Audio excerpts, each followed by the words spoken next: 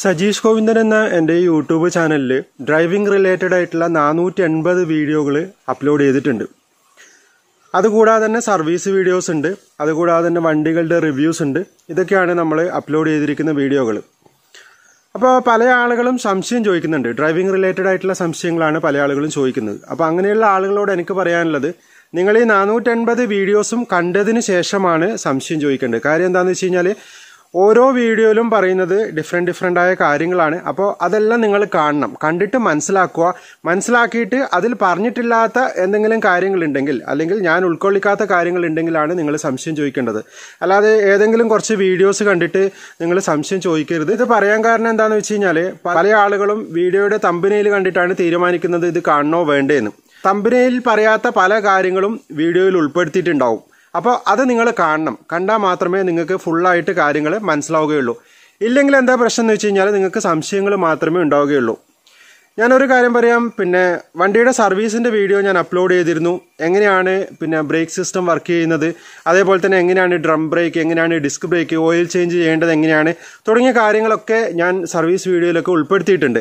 അപ്പോൾ അത് പലരും കണ്ടിട്ടില്ല. അപ്പോൾ അവർക്ക് അത് സംബന്ധിച്ച സംശയങ്ങൾ എപ്പോഴും ഉണ്ടായിക്കൊണ്ടേയിരിക്കും. ആ വീഡിയോസ് നിങ്ങൾ മാക്സിമം കാണാൻ വേണ്ടിയിട്ട് ശ്രമിക്കുക.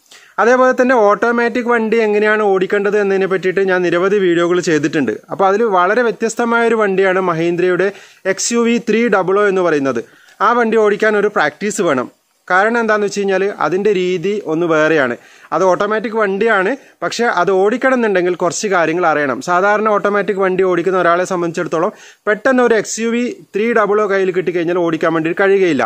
അപ്പോൾ അതിനെ പറ്റിയിട്ടുള്ള വീഡിയോ ഞാൻ അപ്ലോഡ് ചെയ്തിട്ടുണ്ട്. പക്ഷെ നിങ്ങൾ പലരും കണ്ടിട്ടുണ്ടാവില്ല. കാരണം എന്താണെന്ന് വെച്ച് കഴിഞ്ഞാൽ അതിന്റെ തമ്പിനയിൽ എക്സ് യു വി എങ്ങനെ ഓടിക്കാം? അല്ലെങ്കിൽ ഓട്ടോമാറ്റിക് വണ്ടി എങ്ങനെ ഓടിക്കാം എന്നതല്ല. അതിന് പകരം Mahindra X U V three double ഒയുടെ വിശേഷങ്ങൾ എന്നായിരുന്നു തമ്പിനയിൽ ഉണ്ടായിരുന്നത്. അതുകൊണ്ട് പലരും കണ്ടില്ല. വിശേഷം അറിയേണ്ടെന്ന് വിചാരിച്ചിട്ടുണ്ടാവും. അപ്പോൾ നിങ്ങൾ മനസ്സിലാക്കുക അപ്ലോഡ് ചെയ്യുന്ന എല്ലാ വീഡിയോകളും കാണാൻ വേണ്ടിയിട്ട് ശ്രമിക്കുക. പല കാര്യങ്ങളും അതിനകത്ത് ഉണ്ടാവും. നിങ്ങൾക്ക് വേണ്ട കാര്യങ്ങൾ മാത്രമാണ് അപ്ലോഡ് ചെയ്യുക.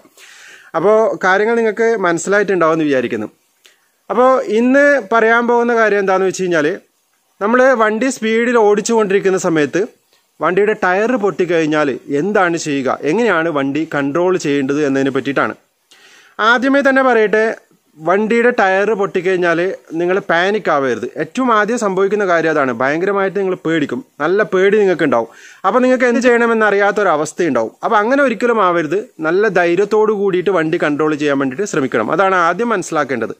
മിക്ക ആളുകൾക്കും ഉള്ള ഒരു ഹാബിറ്റ് എന്താണെന്ന് വെച്ച് കഴിഞ്ഞാൽ പലരും ഒറ്റ കൈ കൊണ്ടാണ് സ്റ്റിയറിംഗ് കൺട്രോൾ ചെയ്യുന്നത്. അതിന് കാരണം എന്താണെന്ന് വെച്ച് കഴിഞ്ഞാൽ ഇത് പവർ സ്റ്റിയറിംഗ് അല്ലേ? അപ്പോൾ വളരെ ഈസി ആയിട്ട് നമുക്ക് കൺട്രോൾ ചെയ്യാൻ വേണ്ടി പറ്റുമല്ലോ എന്നാണ് പലരും വിചാരിച്ചിരിക്കുന്നത്.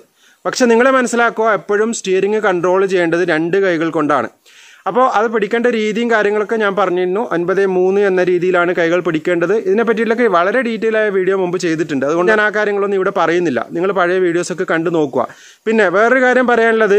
പലരും ചോദിച്ചിട്ടുണ്ട് എന്റെ വീഡിയോസ് ഓർഡറിൽ തന്നെ കാണണോ? അങ്ങനെ ഓർഡറിലല്ല വീഡിയോ ചെയ്തിരിക്കുന്നത്. പിന്നെ അങ്ങനെ നിങ്ങൾ ഓർഡറിൽ തന്നെ കാണണമെന്ന് യാതൊരു നിർബന്ധവുമില്ല. ഏറ്റവും അവസാനത്തെ വീഡിയോ വേണമെന്നുണ്ടെങ്കിൽ നിങ്ങൾക്ക് ആദ്യം കാണാം. അതിന് യാതൊരു കുഴപ്പമില്ല അപ്പോൾ അങ്ങനെ ഓർഡറിന്റെ ആവശ്യമൊന്നുമില്ല. അപ്പോൾ കഴിഞ്ഞ നാനൂറ്റി എൺപത് വീഡിയോകളും നിങ്ങൾ കാണാൻ വേണ്ടിയിട്ട് ശ്രമിക്കുക. നമ്മൾ പിന്നെ ഏറ്റവും പ്രധാനമായിട്ടും മനസ്സിലാക്കേണ്ടത് ടയർ പൊട്ടിയ സാഹചര്യങ്ങളിൽ അല്ലെങ്കിൽ ടയർ പൊട്ടിപ്പോയി കഴിഞ്ഞാൽ നിങ്ങൾ ആദ്യം ചെയ്യേണ്ടതെന്ന് വെച്ച് കഴിഞ്ഞാൽ രണ്ട് കൈ കൊണ്ടും സ്റ്റിയറിംഗ് കൺട്രോൾ ചെയ്യാൻ ശ്രമിക്കുക എന്നുള്ളതാണ്. അപ്പോൾ നിങ്ങൾ ഒരു കൈ കൊണ്ടാണ് സ്റ്റിയറിംഗ് പിടിച്ചിട്ടില്ലെങ്കിൽ എത്രയും പെട്ടെന്ന് രണ്ട് കൈ കൊണ്ടും സ്റ്റിയറിംഗ് പിടിക്കുക. അപ്പോൾ അതാണ് ആദ്യം ചെയ്യേണ്ടത്. അതിനുശേഷം നിങ്ങൾ എന്ത് ചെയ്യണം? ഹസാർഡ് ലൈറ്റ് ഓൺ ചെയ്യണം. മറ്റു വണ്ടികൾക്ക് മനസ്സിലാവണം. എന്തോ കാര്യമായിട്ടുള്ള പ്രോബ്ലം ഈ വണ്ടിക്ക് പറ്റിയിട്ടുണ്ട്. അല്ലെങ്കിൽ എമർജൻസി സ്റ്റോപ്പ് ചെയ്യാൻ പോകുന്നുണ്ട്. തുടങ്ങിയ കാര്യങ്ങളൊക്കെ മറ്റുള്ള വണ്ടികൾക്ക് മനസ്സിലാവാൻ വേണ്ടിയിട്ട് നിങ്ങൾ ഹസാർഡ് ലൈറ്റ് ഓൺ ചെയ്യണം. പിന്നെ പലരും ചെയ്യുന്ന ഒരു കാര്യം എന്താണെന്ന് വെച്ച് കഴിഞ്ഞാൽ ഇങ്ങനെ സ്റ്റിയറിംഗ് രണ്ട് കൈ കൊണ്ടും പിടിക്കും. പെട്ടെന്ന് വണ്ടി ചവിട്ടി നിർത്താൻ വേണ്ടിയിട്ട് ശ്രമിക്കും. അതിനായിട്ട് ചിലപ്പോൾ ഫുഡ് ബ്രേക്ക് ഉപയോഗിക്കുന്ന ആളുകളുണ്ട്. ചില സമയത്ത് ഹാൻഡ് ബ്രേക്ക് ഉപയോഗിക്കുന്ന ആളുകളുണ്ട്.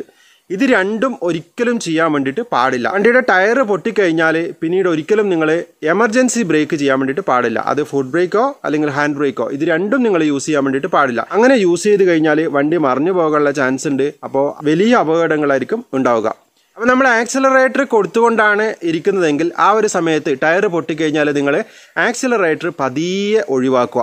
പെട്ടെന്ന് ഒറ്റയടിക്ക് ഒഴിവാക്കരുത്. ശ്രദ്ധിക്കുക. പതിയെ ആക്സിലറേറ്റർ ഒഴിവാക്കുക. ആക്സിലറേറ്റർ ഒഴിവാക്കിയതിന് ശേഷം ഓട്ടോമാറ്റിക്കായിട്ട് എന്ത് പറ്റും? വണ്ടിയുടെ സ്പീഡ് കുറയും അല്ലേ? സ്പീഡ് കുറയുന്നതിനനുസരിച്ച് നിങ്ങൾക്ക് ഗിയർ ഡൗൺ ചെയ്യാം. പെട്ടെന്ന് ഡൗൺ ചെയ്യരുത്. സ്പീഡ് കുറയുന്നതിനനുസരിച്ച് ഗിയർ ഡൗൺ ചെയ്യുക.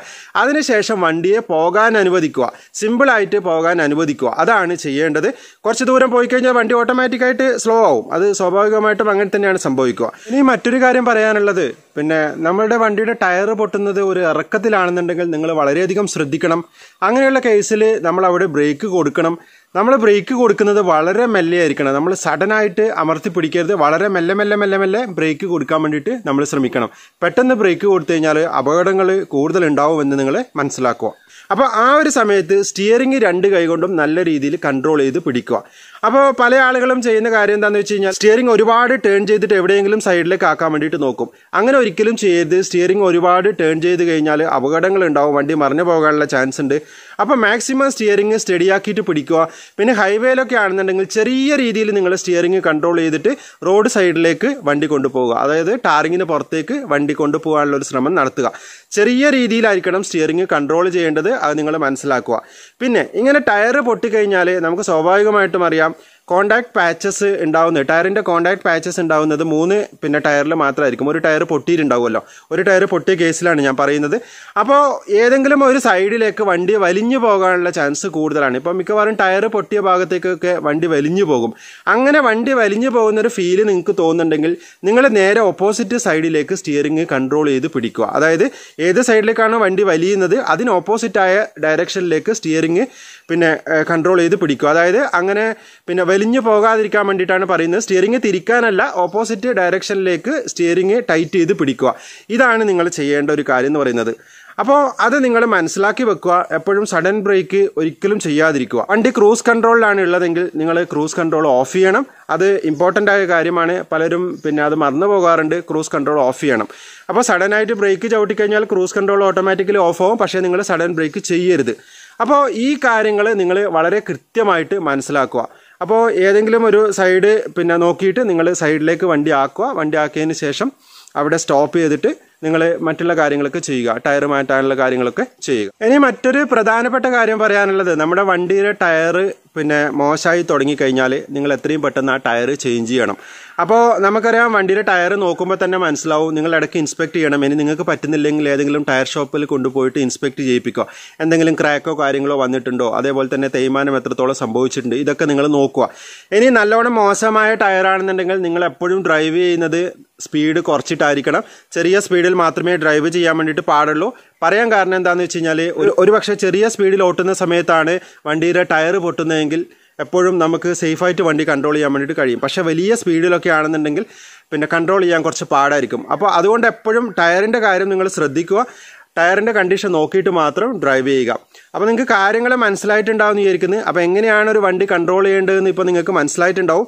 എന്ത് ചെയ്തുകൂടാ എന്നതാണ് വെരി ഇമ്പോർട്ടന്റ് അത് നിങ്ങൾക്ക് ക്ലിയർ ആയിട്ടുണ്ടാവും എന്ന് വിചാരിക്കുന്നത് അപ്പോൾ എല്ലാ വീഡിയോസും നിങ്ങൾ മാക്സിമം കാണാൻ വേണ്ടിയിട്ട് ശ്രമിക്കുക. മറ്റുള്ളവരിലേക്കും ഷെയർ ചെയ്ത് എത്തിക്കുക അപ്പോൾ വീണ്ടും മറ്റൊരു വ്ലോഗുമായി കണ്ടുമുട്ടാവുന്ന ശുഭപ്രതീക്ഷയോടെ ഞാൻ സജീഷ് ഗോവിന്ദൻ. താങ്ക്